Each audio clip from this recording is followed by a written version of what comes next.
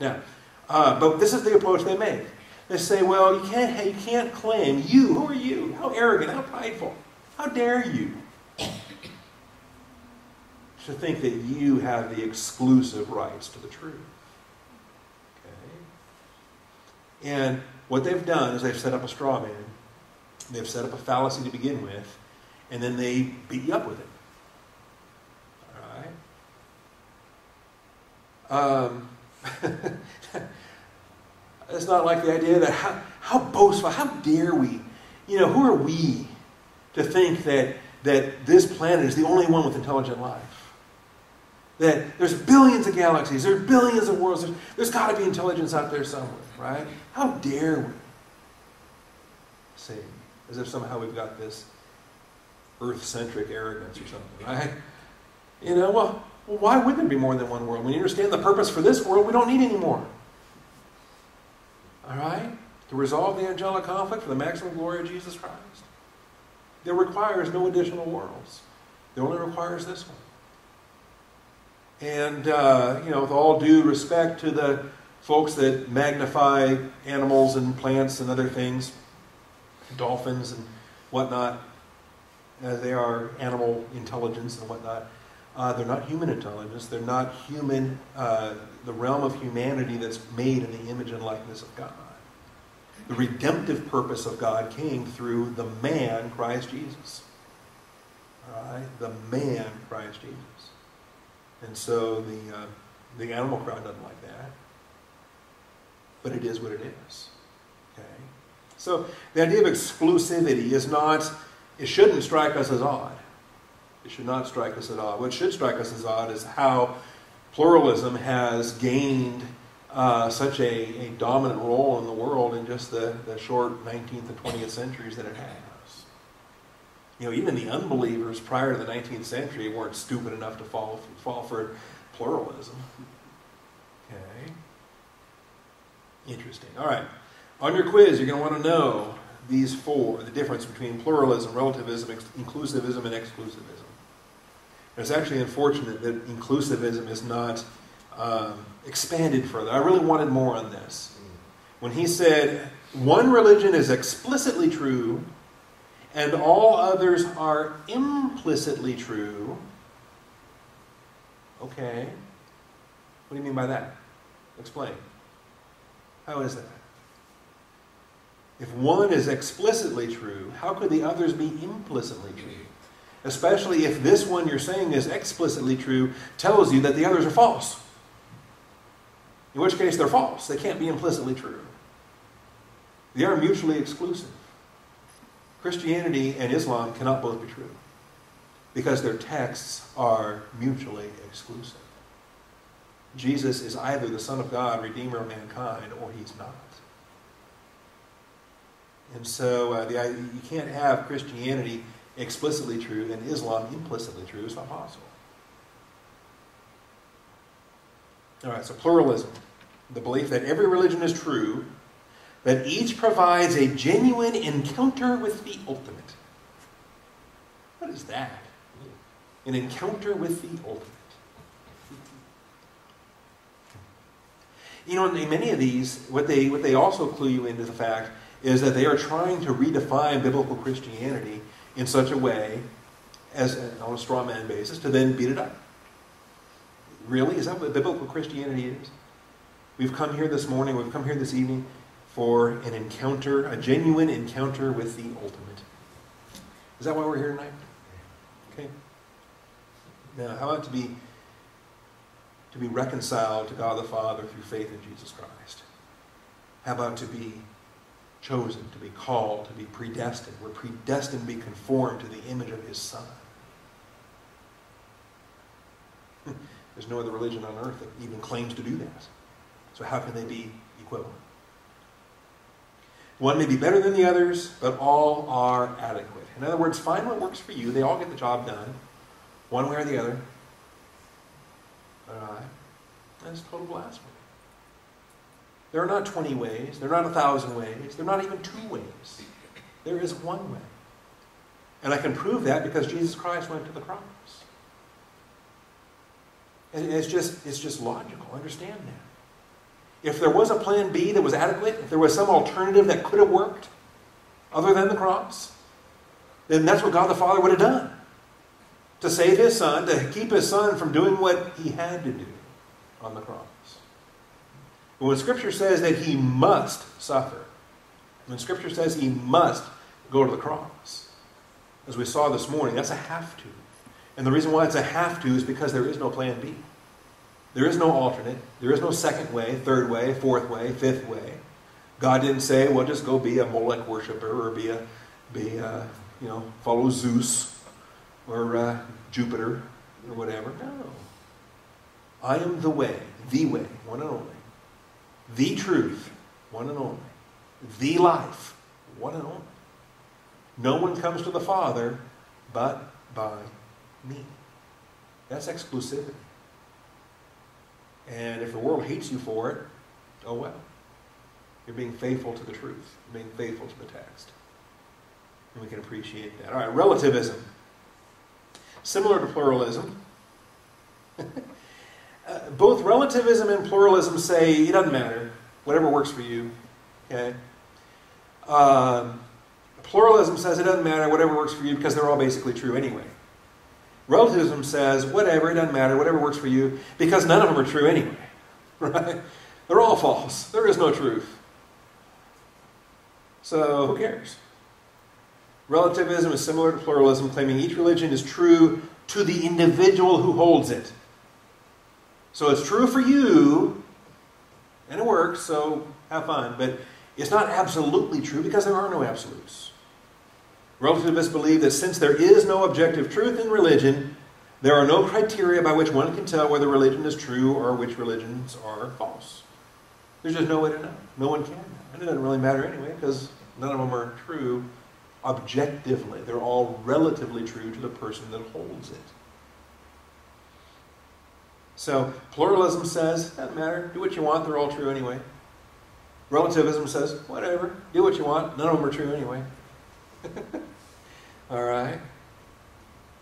And then this bizarre inclusivism, which I really wish that he had expanded upon. He, he never does, not, not ever again in this chapter.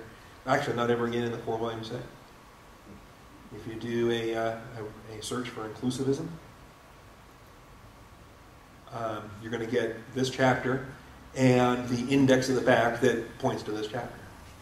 And you're going to get to uh, the only two hits are right there in the paragraph heading and right there in the uh, that snippet right there.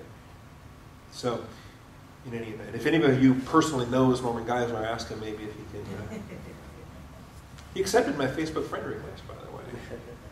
But I think it's just an organizational thing. He's probably got an intern or grad student somewhere that's uh, maintaining his Facebook page. I, uh, I freely confess this tonight. I broke my rule. I broke my own rule in my history of Facebook uh, participation. I have never once sent somebody a friend request that I do not personally know. I've never glommed on to celebrities or famous people or whatnot.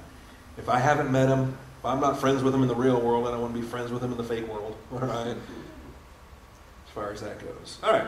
And then finally, the fourth one, the one we want to talk about tonight, the one that makes sense, is exclusivism. The belief that only one religion is true and all the others opposed to it are false.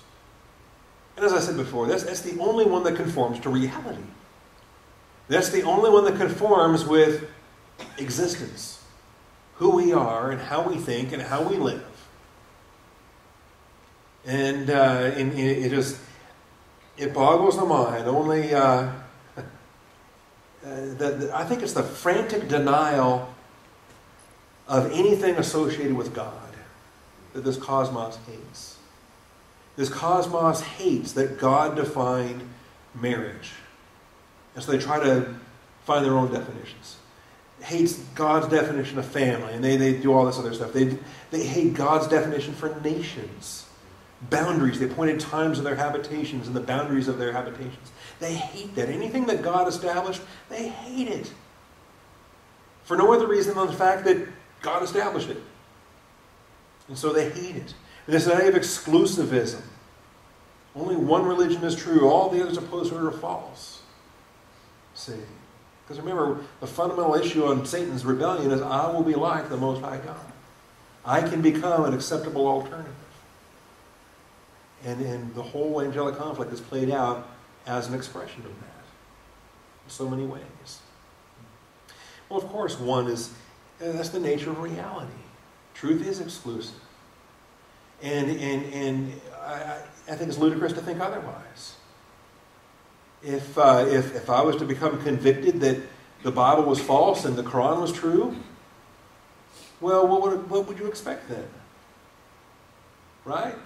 Allahu Akbar, call me a Muslim. I'm going to have to convert. Because of a, of a conviction that this is true, this is false. Okay? I'm not going there, relax. All right? But I'm saying, it's nonsensical to reject all forms of truth or to accept some pluralistic, inclusivistic. There is no experience in, earth, in, in, in daily life or in anything other than the abstract realm of these morons in, in, in philosophy departments of, of, and these book writers that, that try to convince you of these things. Normal people don't, don't think in those terms. And so, fortunately, I, I think for our applications, like I say, the folks you're going to meet at Starbucks or, you know, at the mall or wherever you go, okay? Um, you know, they're going to, they'll have a, a, frame of reference to understand that what is is and what isn't isn't, and, and and we're good with all the rest of that. All right.